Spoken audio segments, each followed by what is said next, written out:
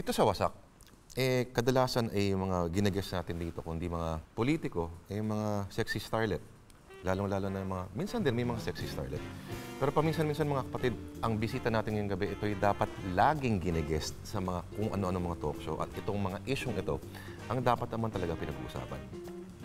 Mga kapatid, ako'y kinakabahan ngayon, nanginginig ako sa aking kinaupuan dahil ang bisita natin ngayon ay isa po sa mga higante ha, ng panitikan at intelektualismong Filipino. Mga Filipino, tandaan po, letter F. Ha. Isa pong matinding at talagang nakabibinging palakpakan dapat ang salubong natin kay National Artist for Literature, Virgilio Almario. Sir, magandang gabi, sir. Salamat, salamat sa iyong panyaya. Mhm. So, buti naman sir, eh, binigyan nyo kami ng oras.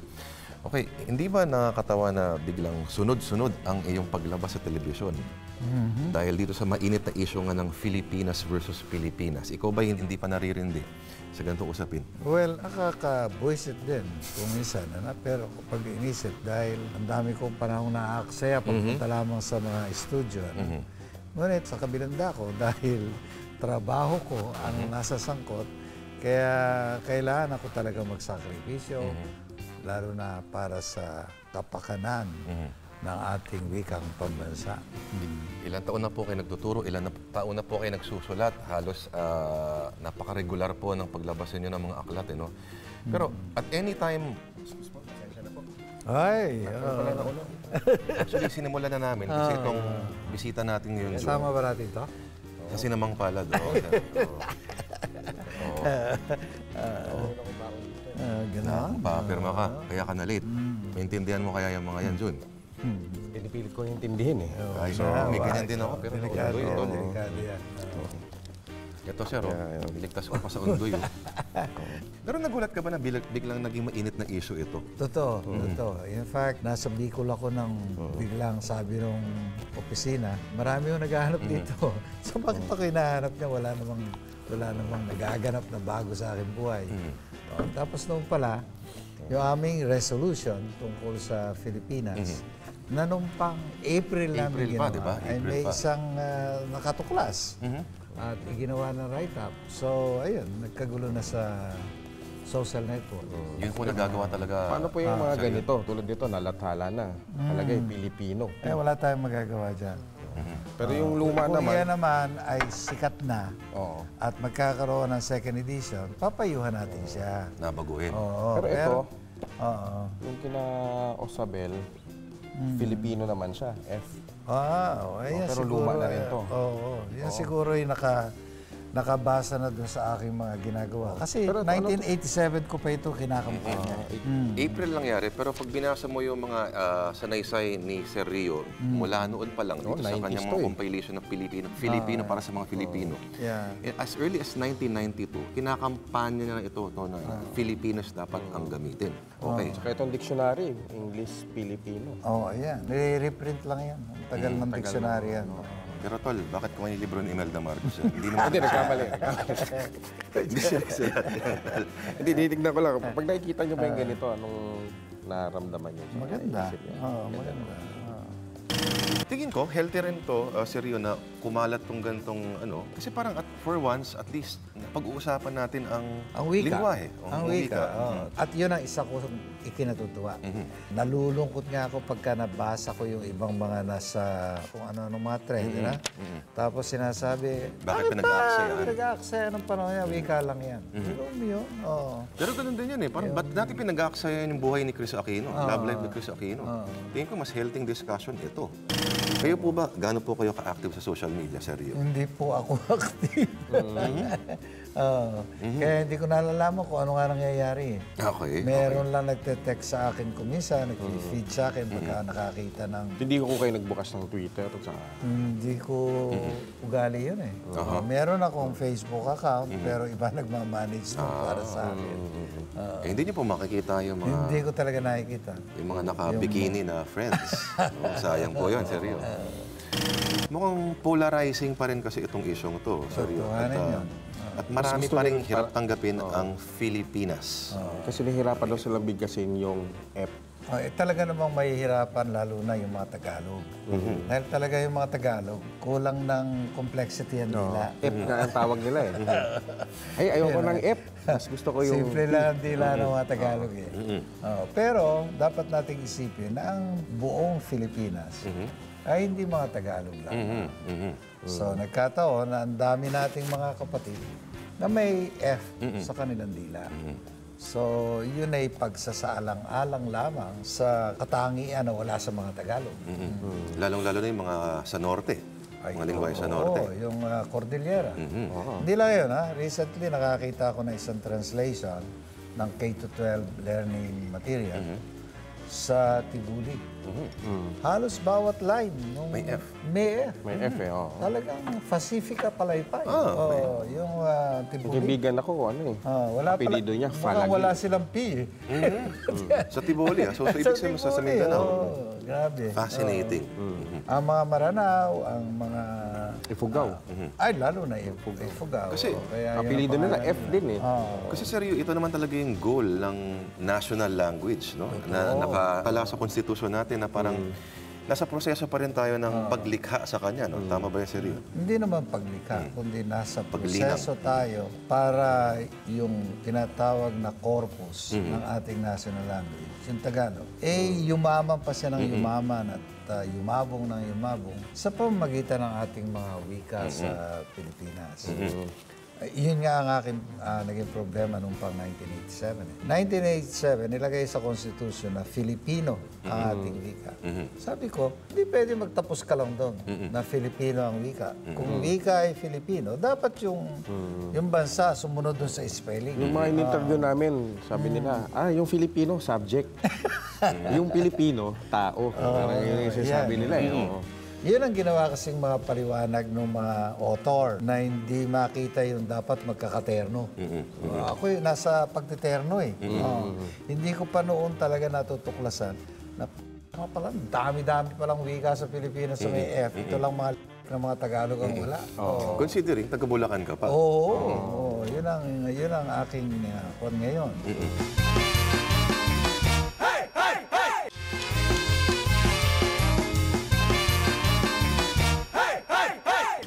Kailan po ba nagsimula yung Pilipino na? Nine, ah, ah, Pilipino, 1959. 1959. So bago lang pala talaga. yun. Oh, dati kasi yan, uh, nato na yon, nato na yon. Kaya lang, noong 1959, nagkaroon ng department order si Education Secretary Jose Romero. Yung tatay ni Eddie Romero. Tama eh. Mm, at siya ay nag-utos na, siguro dapat gamitin na natin ngayon ang pangalang Pilipino para sa ating wikang pambansa. Kasi dati, wikang pambansa lang ang tawag. So, ayun, doon nagsimula yung kwan. At Pilipinas ang pangalan din daw natin officially nung panahon ng hapon. Tama ba yan, sir? Ah, hindi naman officially, kundi dahil kinilala nila yung abakada ni Lope Santos, ayaw nila yung English na Philippines. At lahat ng bahay na kolonyalismo ayaw nila, di ba? Napaka-anti-Western ng ating kanon eh. So yung abakada, Tagalog lang pala talaga. Tagalog lang yun. Hindi no? talaga yung... Hindi naman. yung ano. Hindi naman necessarily Tagalog. Ano? Kasi yung mga Bisaya din, mga Kapampangan, mga Bicolano, wala talaga, hanggang doon lang talaga yung mga letters. Ah, Walang F talaga. walang F, walang V, walang J.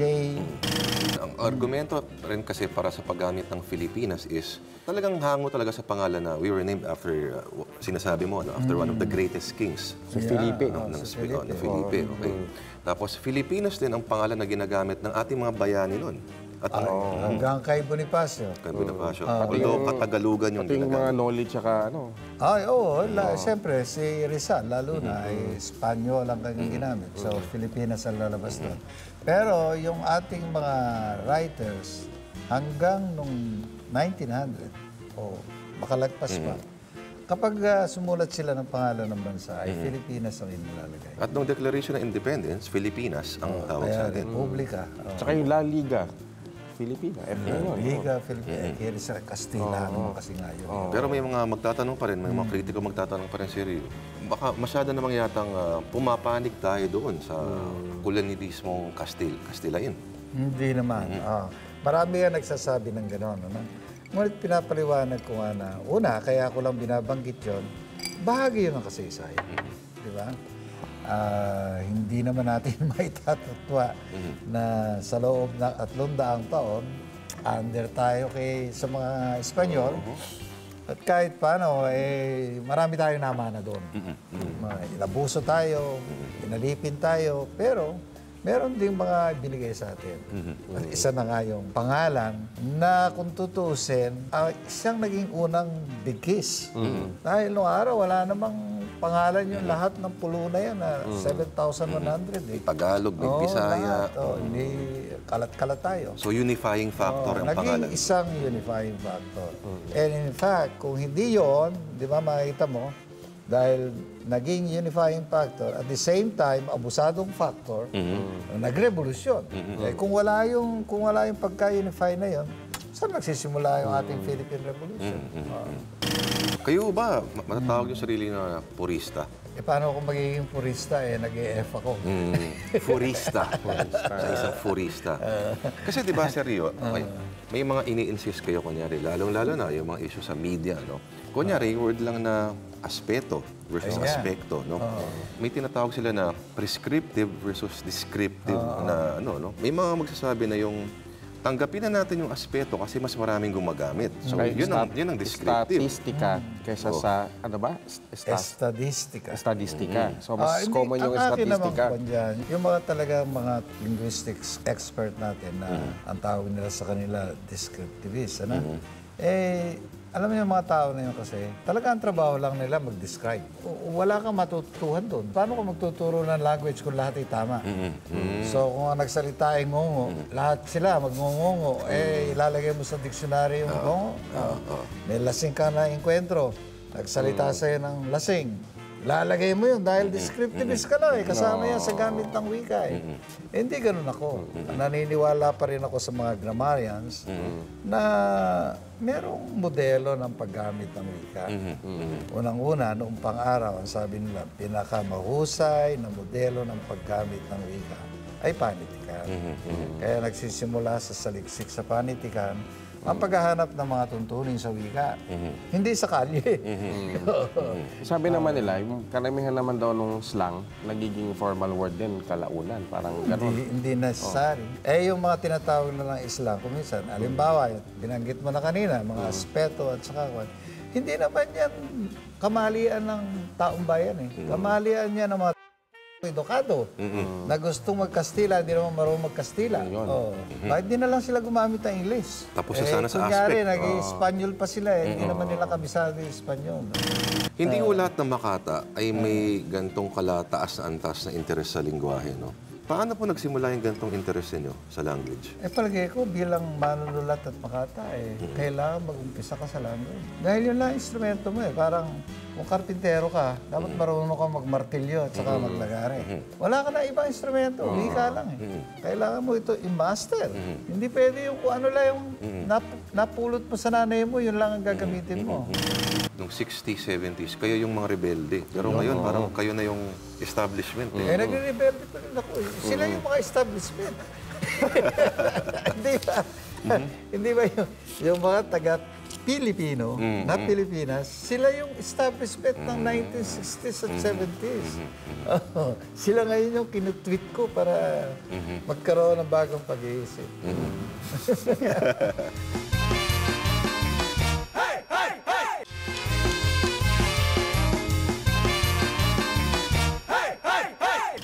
Ang dami-dami yung ginagawa, both administratively and ano, no? Eh, nagtuturo pa kayo. Meron ka bang goal sa sarili mo na parang at least eh, ganto-gantong period sa ano ay magsusulat ako at maglalabas ako ng libro?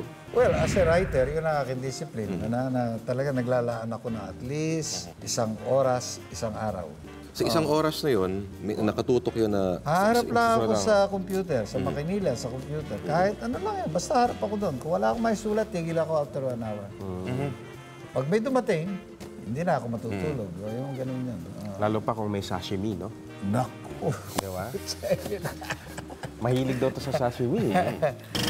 Ang malupit kasi sa kay Sir Rio, na pagsasabay niya ganito, at the same time, may mga kritika pa siya na ano, na hindi lang kritika, talagang may matinding pananaliksik involved. So, napagsasabay mo minsan na parang nagsusulat ka ng mga koleksyon ng tula, at the same time, nagre-research ka.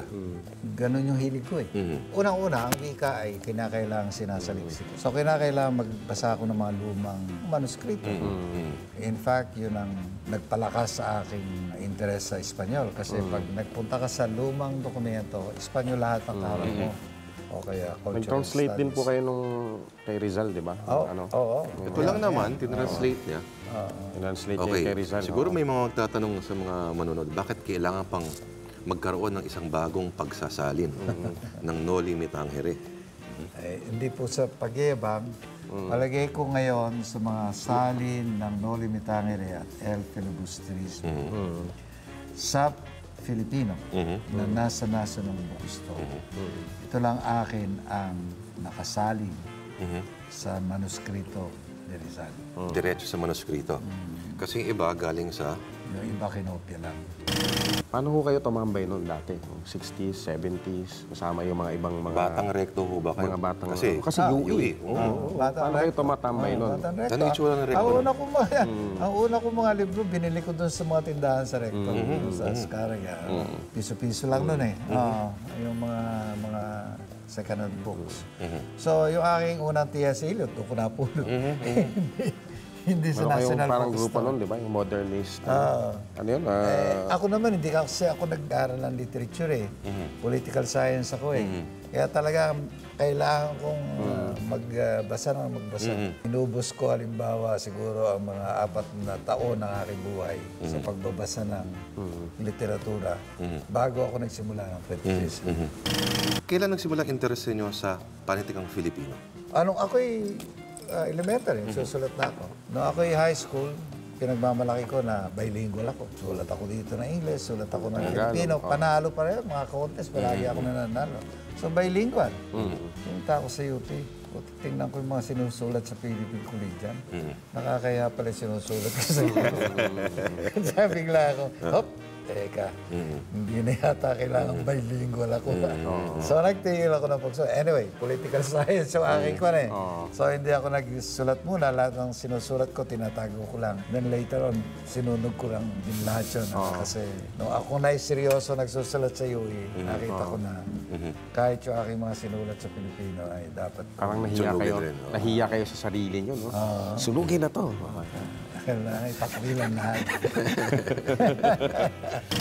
Kayo ba eh, tingin nyo eh, handa na kayo magretiro, sir? Hindi pa, oo.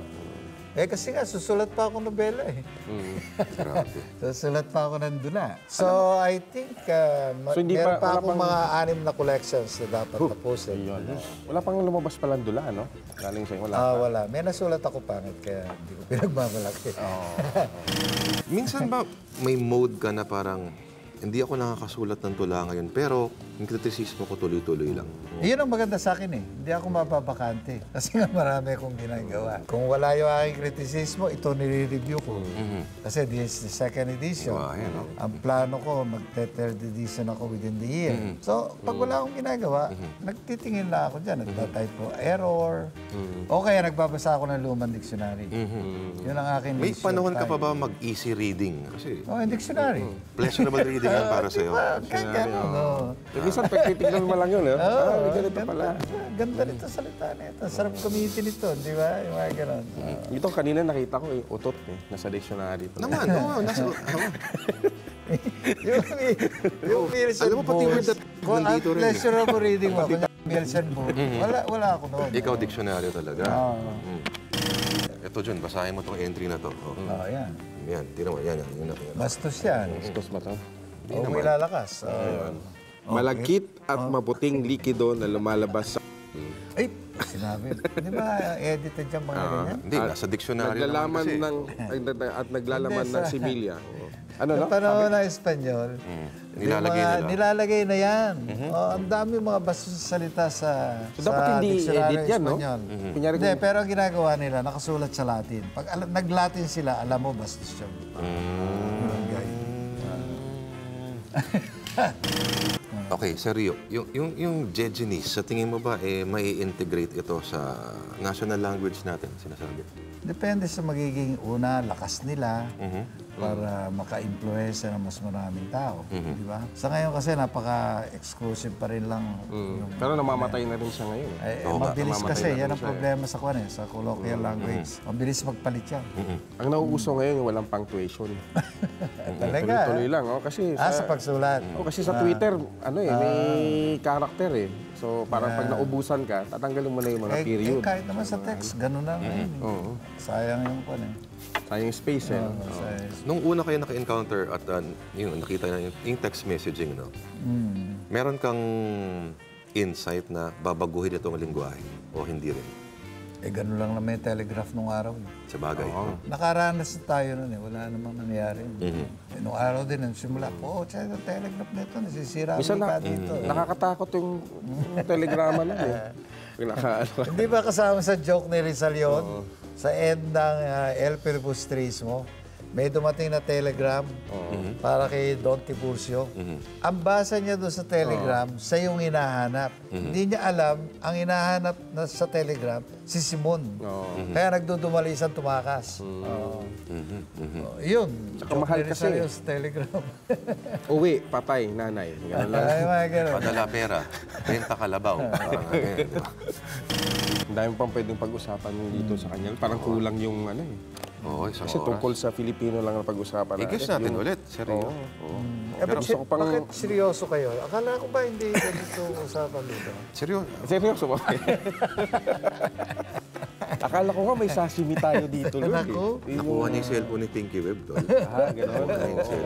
Idol talaga to eh. Kaya naman siya national artist eh. Please, eh, oh. Baka magalit yung boyfriend mo. Ah. Kunyari, ano, ano yung gusto mong huling hapunan mo? Ah, pag kunyari ako ay bibitayin. Mm. Ah, ah. Hindi hapunan. Ah, okay. Malinaw na sa akin yan. Marami ka rin man naging kaaway no? sa panitikan. Medyo naging may closure na ba yung mga issues ninyo? Ah, wala. Kasi keso ikaw daw pumanig noon sa ganitong administrasyon. Mm.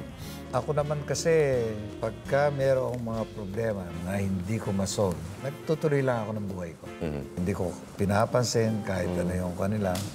Dahil kung hindi, hindi ako makakapagtrabaho. In fact, yung lahat ng ginagawa kong trabaho, kaya tuloy-tuloy yan, parang record din yan ng evolution ng aking ideya at sa akin ng buhay. Hindi ako napapatali. Kaya yung problema, hindi ako maitatali. Yun ang words of wisdom, tol. Mhm. Alright, mga kapatid. Virgilio Almario, National Artist for Rio Literature. Alma. At tagapangulo po ng Komisyon sa Wikang Filipino. Alright, sir. Maraming salamat, sir. Thank you. Sir, papir na lang, sir. Iyan, yun. no? Yeah.